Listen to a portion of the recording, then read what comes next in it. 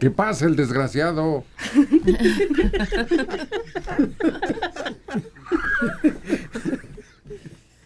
No se rían, se, se va a enojar conmigo. Bienvenido, Tomás. Ay, a, a buena hora.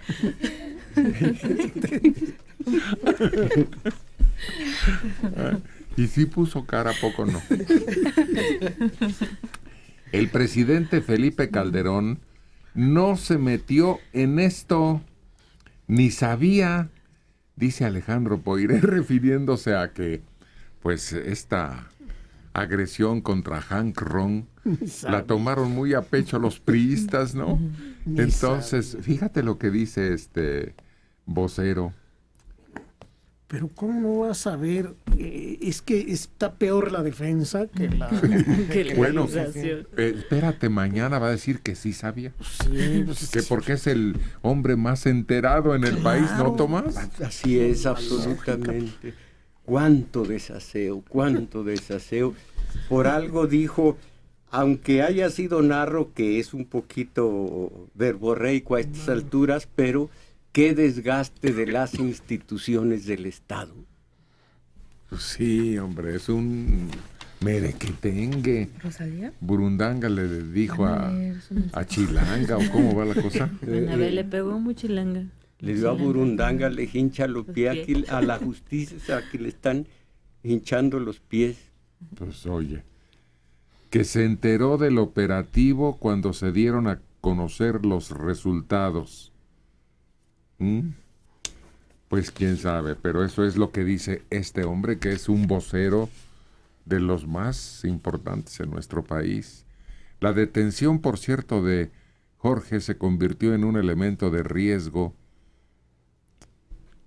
dicen las opiniones de priistas elemento de riesgo para la convivencia democrática y las corrientes políticas y es cacería de brujas para afectar en las elecciones en el Estado de México al PRI. Y mañana se decide consignación, arraigo o libertad. Cualquiera de estas tres opciones es mala para el, para el panismo que ya perdió dos puntos allá con su candidato en el Estado de México. Pues han tratado de reanimarlo, Sí, mañana. fueron a echarle este la, la bendición y, y apadrinarlo y después de que lo dejaron solo en el arranque, Hasta- ya reaccionaron tarde. Hasta Gustavo Madero lo había dejado solo, pero ahora con todos, con todos apoyándolo, pues no llenó la plaza de Tlalnepantla, Luis Felipe Bravo Mena, y, y ahora, mañana van a ser los debates, y la sombra de Jan González va a estar allí presente. ¿Qué le irán a preguntar a Erubiel? Erubiel, que han tenido en ese sentido un perfil bajo de no hablar de Jan Ron, ¿qué va a contestar? Era normal que a Bravo Mena le pasara eso. No es un hombre conocido en el Estado de México. No es una persona que haya tenido una función específica para beneficiar un poblado, un municipio. Entonces no, no tiene la fuerza que tiene Erubiel, por lo menos Erubiel fue mencionado durante sus todo el tiempo Pero- que estuvo como presidente municipal. Pero Erubiel ha recibido una cobertura total, absoluta. Mira, Encinas ya fue candidato al mismo puesto. Entonces ya algo, algo saben de él, ¿no? Y, y, pues el perredismo está vivo ahí, en el Estado de México. Pero el PRI se convirtió, no dicen que es el laboratorio de las elecciones grandes. Pues ya lo estamos viendo. Que eso es lo que está sucediendo con todas las peripecias. No, Bravo Mena tiene mucho arraigo en otro, en otro lugar, no precisamente en el Estado de México, en el Vaticano, donde fue embajador y tiene fuerza en el Vaticano, pero no aquí. Mi esposo, dice su mujer, señala que ampliaron el plazo de 48 a 96 horas, que esté tranquila, que él lo está, que él sabe que nada de esto procede y yo también veo muchas inconsistencias. Esto declara María Elvia Amaya, la esposa de Jorge Han Ron. Me sorprendió de esta pareja que los dos llevaban hijos al matrimonio y tienen 18, 19, ¿cuántos?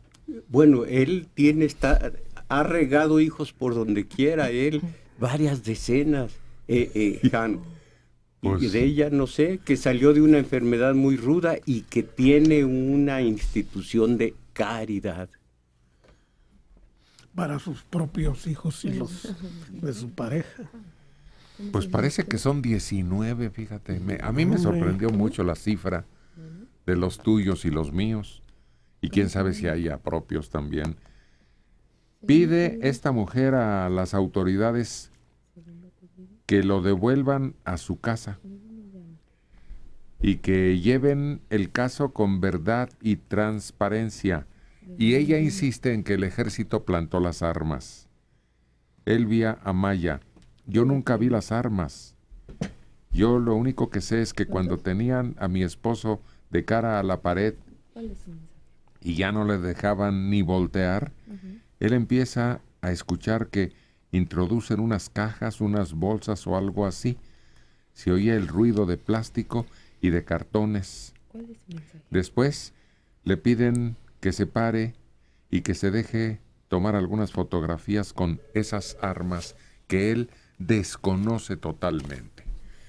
Incluso acabas de señalar algo muy importante, Adela. Sí, el abogado comentó que ellos alcanzaron a tomar los videos que tienen en las cámaras de seguridad de la casa de Han Ronk y que ahí está la prueba de que las armas fueron sembradas. La Procuraduría investiga cuando se le dice que delito, delincuencia organizada. Y por eso ampliaron el, el espacio para definir su situación jurídica, que se inició una averiguación por violación a la Ley Federal de Armas de Fuego y Explosivos, 88 armas, 43 de alto calibre. Dígame. Los resultados del cateo no se darán a conocer, se integrarán a la indagatoria. María Elvia, quien llegó junto con su hijo mayor, uno que es torero, Alejandro Amaya, dice que en esta ocasión sí se les mostró una orden judicial y que si tiene un trasfondo político, ella dijo, pueden ser tantas cosas. Realmente no sé por qué podría ser política, a menos que la política del centro de la República tenga otra manera de pensar y lo esté haciendo en ese sentido. Se sintió ultrajada y desmoralizada. Aseguró no conocer a quienes mencionan entre los detenidos con Han Ron y pidió al presidente Calderón que nos haga el favor de llevar esto con mucha transparencia, con mucha verdad. Pues sí, nada más que si detrás hay motivos políticos, es que están con una lupa viendo una manchita o es una basurita en el tigre este. Será basura, será manchita, una pequeña mota que son las armas. El tigre tiene manchas por todas partes y las ha tenido desde el gato Félix y desde antes. Pero esto, la parte política, el tufo político, es inaguantable. Pero fíjate que si se logra desacreditar esta indagatoria, va a resultar contraproducente en el ámbito político. Claro. Ya, ya se habla de que es un equivalente al desafuero de López Obrador, que fue en beneficio de López Obrador. ¿te acuerdas cómo le decía a Carlos Monsiváis? Un día agarraron a este Jorge con un contrabando de piezas de marfil y este, pieles de, Pieles. de Animales animales en en, riesgo de extinción, todo eso. Y entonces Carlos Monsiváis le dijo, este es un narcotraficante. narcotraficante. Pues este, ella, María Elvia, dice que cuentan con videos de la parte de afuera de la casa donde se ve lo que pasó. Así que si esto aparece Sí. y se descubre la maniobra, que qué regazón. Sí. las armas a la casa que son perfectamente capaces. Bueno, pero hicieron dos cateos a la casa. El primero sin orden y, y fue aprehendido sin orden. Ya en el segundo cateo hubo orden de cateo y ya mostraron orden de aprehensión.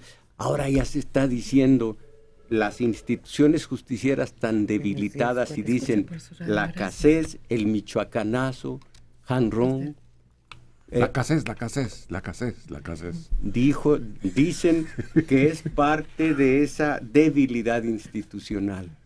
¿De dónde llama? Que no se hacen las cosas debidamente. y que apenas el 2, para el pasado 2 de este mes, el presidente habló de los sacerdotes cívicos y esos sacerdotes cívicos, ayudados por el ejército, están haciendo estas desmesuras. Y también se habló de que las armas largas eran de cacería. Pero que jamás ha estado en una cacería ni le gusta.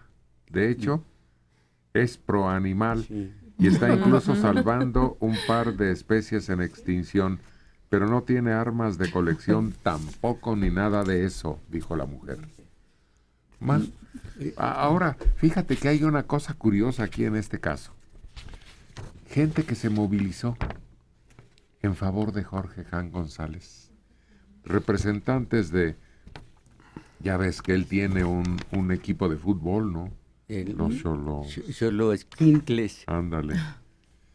Y, y porras y los profesionistas de derecho allá, pues que estuvo plagada de irregularidades la acción. Y, mucha gente que ha sido beneficiada o que de alguna manera obtiene chamba gracias a los negocios que este hombre tiene, protestaron. Como Pues- dice Mojarro, eh, sin duda había causas más que suficientes para investigarlo en otros ámbitos y no armar un teatro tan burdo como este, que se está cayendo al segundo día de que se llevó a cabo. Pues si es sumado esto a errores, a precipitación de, de las autoridades, qué doloroso le va a resultar al gobierno actual. porque desde ahora parece que ya está ya está eh, eh, perdiendo las elecciones del 2012 si esto resulta que se cae por endeble. Ya falló una vez, pero ya tenía todo preparado, incluso recuperó algunos municipios de su estado. Es un luchador este político. Y, y ya tenía todo preparado, creo que es el 13, ¿no? El, el- ¿Cuándo qué? Cuando se elige nuevo gobernador. Así es, es en el 2013 y él estaba ya enfilado, enfilado porque no perdió por gran cantidad de votos la vez pasada. Entonces en el ¿Te 3 acuerdas que rifó coches? eh, eh, Hizo una eh, campaña de proselitismo, pero muy importante. Yo me sorprendí de que perdiera. Sí, eh, y por un margen estrecho y, y era el candidato obligado porque pues sí, la gente, la gente lo ve como es, e- ese- esos restos de un priismo folclórico, aventado, decidor y que además da muchos regalos en, en sus campañas. ¿Y se acuerdan a quién culpó él directamente de que no le hubieran dado el apoyo? A Elba Ester. ¿Ah, sí? Sí. ¿Quién sabe?